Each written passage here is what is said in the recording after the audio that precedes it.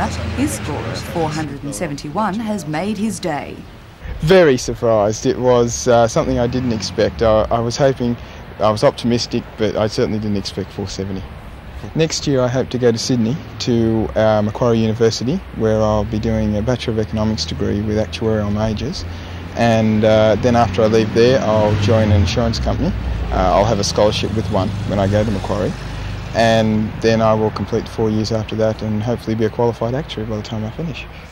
1985 was a controversial year for New South Wales HSC students, with break-ins and widespread allegations of cheating. The Director of Education, Alan Beard, says that to his knowledge, none of these problems affected the Hunter Valley students. We've done a little better than the average. Uh, if we take uh, the 50% mark, can, I can say that more than 50% of our candidates did better than average in the HSC, and that's good news for all the schools in the Hunter region, I think. Meanwhile, the saga of the 1985 HSC continues, with many students confused and unsure about their marks and their future. Sometimes Theo the HSC heads is the Department of Education's in Inquiry of- Centre, which, in conjunction with an advisory centre, helps students understand their marks and their entitlements. Sometimes the HSC is fairly difficult to interpret in terms of the information that's actually shown on the high school certificate. So we have three people, two of whom are school careers advisors and one is a school counsellor, who in fact operate in the capacity of, of explaining to students exactly how they can use their high school certificate, uh, what universities they are eligible to, uh, to matriculate to, uh, what sorts of careers they can consider given the, the quality of the results for their high school certificate.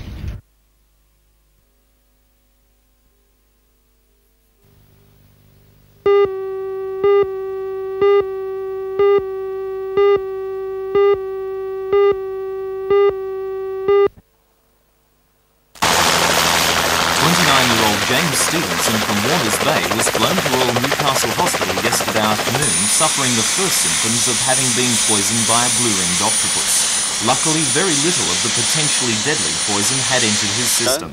And by today, James was out of hospital and able to tell the unusual story of how he was bitten. He says he was diving for shells when he accidentally picked up the octopus. I was up I was diving at uh, Shoal Bay down near Tomaree Lodge, and uh, I'd seen some seashells early in the morning that I'd would have liked to have brought home. You know, some nice colourful seashells. So uh, I went out, took my hand spear out, and just wore my swimmers out. And um, I was diving in about three metres of water, and uh, I was diving down to get the seashells, coming back up for air, and then just checking to make sure there's nothing in the seashells. Uh, unbeknownst to me, there must have been a blue ring right down in the spiral of one of the uh, seashells, and uh, I put about four or five of those shell seashells, and I was putting down the front of me front of me swimmers because I had a hand spear in one hand and a large abalone shell in, in the other hand. I felt something on the back of me right left buttock, and uh, so what I done is uh, I thought it was a bit of weed or some sand in there, so I went back in the water to uh, just clear me swimmers, and uh, the thing well, was still there, whatever it was, and I just brushed me left buttock and uh, brushed the thing out of me swimmers, and uh, a blue ring just sort of floated out in front of me, you know. The experience of James Stevenson and the equally lucky recovery of 16-year-old Scott Miles from Albury, who was bitten at North Arm Cove on Port Stephens on Saturday, are reminders that people should be careful of the blue ringer. Children playing in rock pools are particularly vulnerable and should be taught to leave Hello, I'm the Mark creatures Matto, and alone. tonight I'll be reporting However, on while it pays to be careful, experience shows that the chances of being bitten are extremely small. Despite the many thousands of blue ringers living all around Australia's coastline, the Poisons Information Centre says an average of only one person a year is bitten. Only a tiny handful of people have died. So it is very unusual for there to be two bitings on one weekend. Authorities stress there is no reason to panic about the blue ringed octopus. They say the chances of being bitten are extremely small. And as long as you leave the octopus alone, it will leave you alone.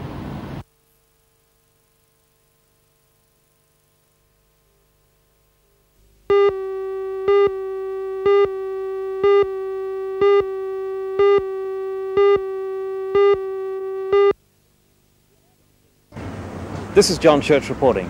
For the last 10 years, Freeman's Waterhole has been the home of this World War I steam loco, but the weather and vandals have started to take their toll. So the Richmond Vale Railway Museum has decided to take things into their own hands and find this loco a brand new home. Join Ray Deneen and Anna Manzoni for all the news tonight at 6.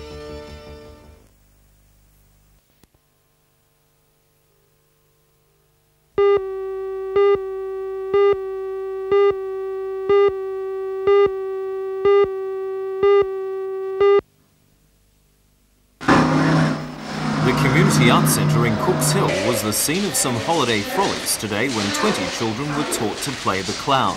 The workshop, led by clown around town Lindy Carruthers, aimed to teach the children the essentials of body movement, communication and social skills. Today's workshop will be followed by a class on a different subject each day until the 24th, including collage, puppet and mask making and kite making. The Community Arts Centre says children up to 14 years of age are welcome to attend as many of the workshops as they like. Meanwhile, if the kids are monkeying around, take them to Garden City, where the Cells Monkey Circus is the star attraction. Getting all the attention is Mr. Muggs, better known to most of us as Wally Walpurgis, thanks to a well-known television commercial. This multi-talented superstar agreed to come out of retirement due to popular demand, and will be strutting his stuff each day this week and next.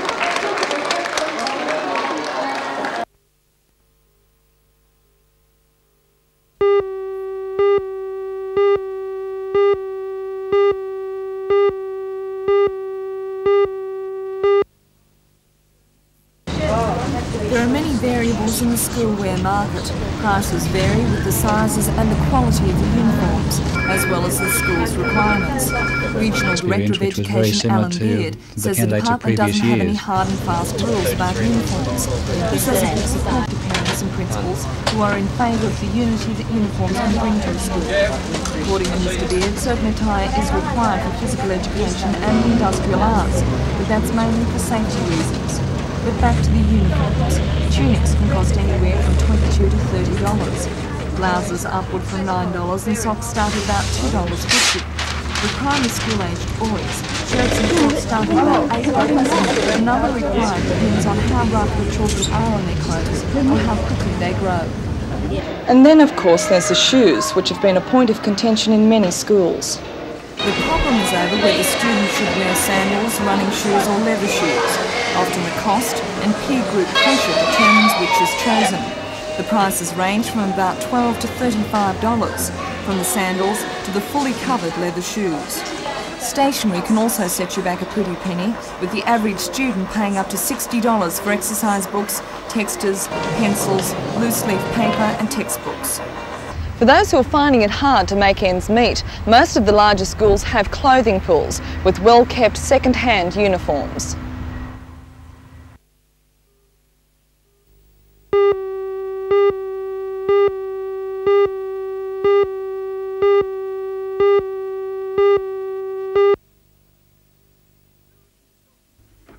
There are a few jockeys with records as impressive as Robert Thompson's. The 27 year old from Cessnock had his first ride at 14 years of age. The next year he rode his first winner. He's won five consecutive apprentices premierships and has chalked up six jockeys premierships since. In the season that finished on July the 31st, Thompson rode 159 winners, more than any other jockey in Australia. Leading Sydney trainer Neville Begg is one that recognises his talents. He believes Thompson would hold his own with any jockey in the world. Robert Thompson, world class jockey. Keeping up with the Joneses has been a time honoured tradition, but keeping up with Redhead's beach flag specialist Michael Jones has been almost impossible for Australia's best for a number of years now. Mick Jones has now won four national beach flag titles, the last three in a row. He's also won a world title in Bali and a third place in Hawaii. On the local scene, he's unbeatable and holds titles on all competitive levels, including club, branch, and state honours, through to the national title he won this year at Point Leo in Victoria. But he's not totally happy with that. The flags are his, but he wants a beach sprint gold medal to go with it. Mick Jones, multinational beach flags champion. Barefoot water skier Debbie Pugh has not only tasted the sweetness of success, but the bitterness of frustration in losing when world gold was in her grasp. She's not deterred though and will be there with the Australian team in West Germany for the next World Championship. January saw Debbie in the ACT to take their state title with a world record score in tricks. She backed this up later in the year when she won New South Wales titles, set three Australian and world records, and became the first to break 2,000 points in tricks worldwide. Debbie Pugh, barefoot world record holder. Glenn Ritchie will become a household name. He's an athlete with an enormous future and a recent past chock full of outstanding results. He started the year with wins in the 800 and 1600 metre Australian Professional Championships and the National 15 kilometre Pro title in Australian course record time. He soon backed that up with state wins in the 800 metres, 1600 metres, 5 kilometres and 10 kilometres, which he created new state and national records. He also won the 15 kilometre event. Throw in another 10 wins in top company, and it's no wonder this man has been voted the top pro athlete in this country. Glenn Ritchie, future international athletics star.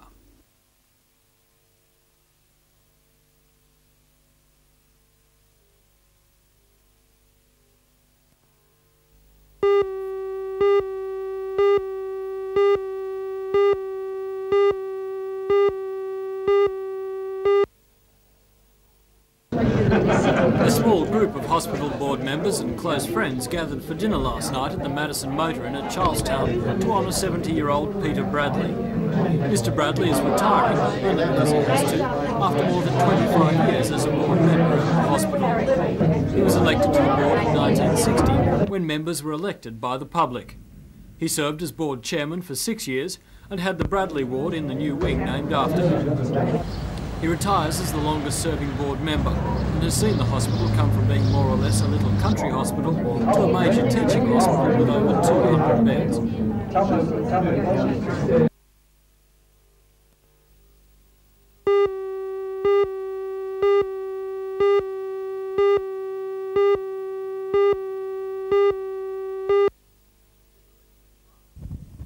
In the recent past, the best the Newcastle team has been able to manage in the State Interbranch Championships is third spot.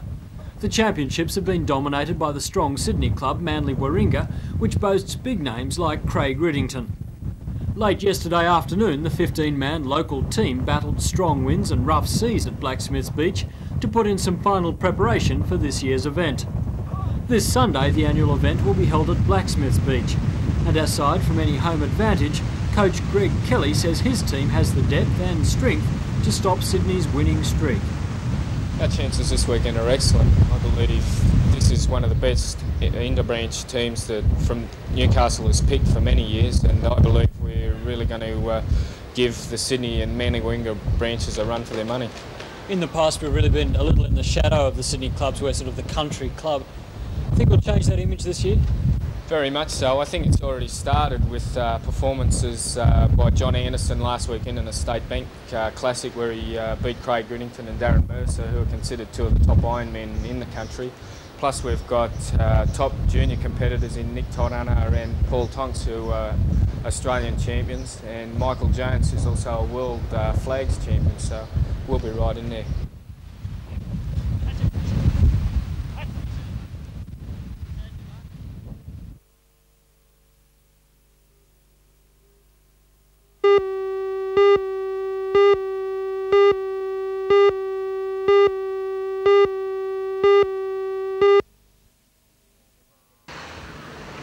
All that remains of the house on the entrance road at Foresters Beach.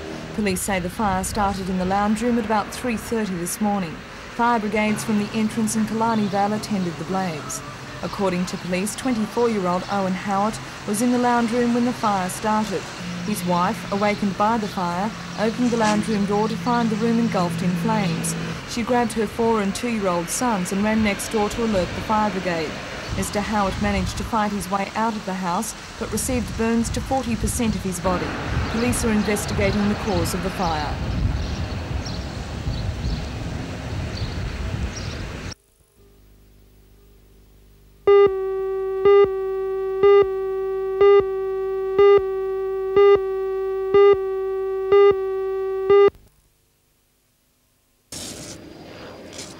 This was the Iron Newcastle's first visit to its namesake port.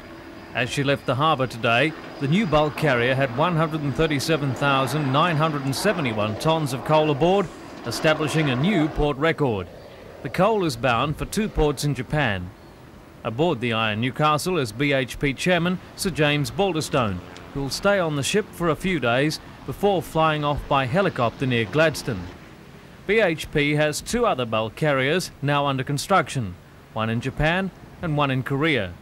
They'll replace the Iron Duke, which has been sold for scrap, and the Iron Sirius, which will leave the fleet in June. Also in the harbour at the moment is another ship making her first visit here. The Pacific Grace, a sister ship to the Hunter River, is under charter to load aluminium for Japan from the Alcan smelter at Kurri. These two ships are small, but will make frequent trips about every three weeks. The Pacific Grace is loading 5,900 tonnes of aluminium and should leave for Japan on Monday. The use of small ships lowers the need for stockpiling, but puts demands on Alcan to meet the shipping deadline.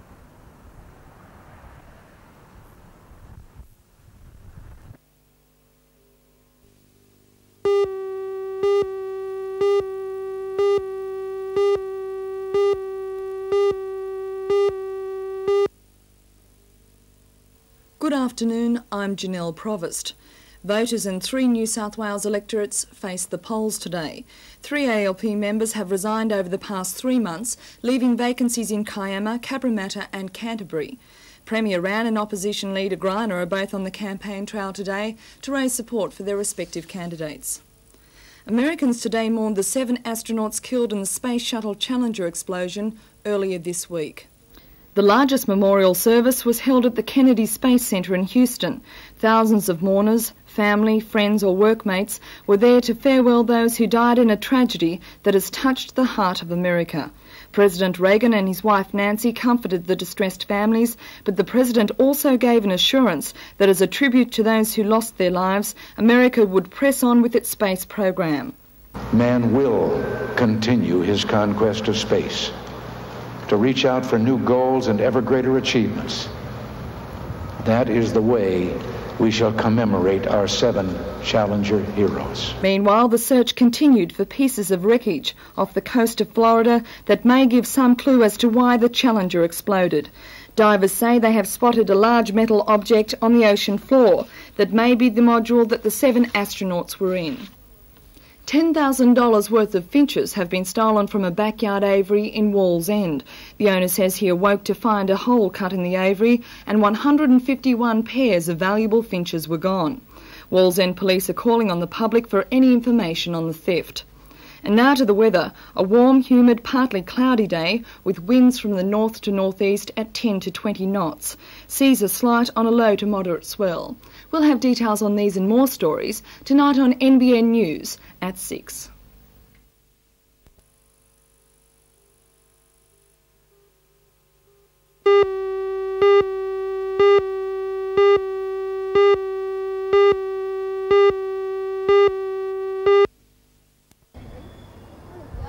The mood at Carrington Slipways today was one of sunny confidence as the latest ferry, the Scarborough, waited for launch. The company has completed 10 of the innovative twin-hull designs on time and at the right price. The $2 million ferry is one of four being built with federal government bicentennial funds. The 11th and last of the series, the Friendship, will be launched later this year. On hand for the Scarborough launching was the Federal Transport Minister Peter Morris, the State Transport Minister Barry Unsworth, and Youth and Community Services Minister Frank Walker. It was Mr Walker's wife Marilyn who did the honours, cracking champagne over the Scarborough's bow and sending her on her way. The ferry will soon be plying Sydney Harbour, where she will carry up to 400 passengers at a top speed of 14 knots.